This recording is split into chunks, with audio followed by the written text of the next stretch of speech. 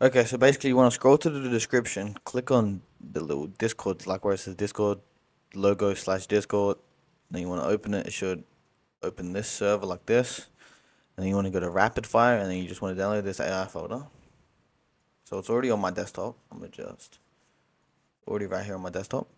And then basically, if you did want to like change up the rates, you can let's just say I want to change combat pistol. So we got open the this one right here called not this one, the other one. We open weapons meta. And we search combat pistol. Click it like four times. And then here's all the rates. So look, we got accuracy spread values, blah blah blah. There's damage value right here, 27, you know.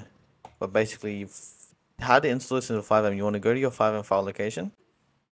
Then you want to go application data, citizens common data.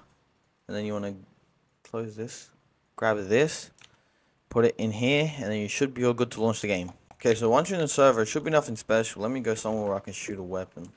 Go just like the damn wall or some shit. So if I spawn a combat pistol, hold left click, you see how it's shooting faster than normal? You can change the rates in the thing where I just showed you. But like, this is pretty fast still for a combat pistol. But you can change the rates and make it really fast, like an AP pistol fast. But it does get you banned from some servers.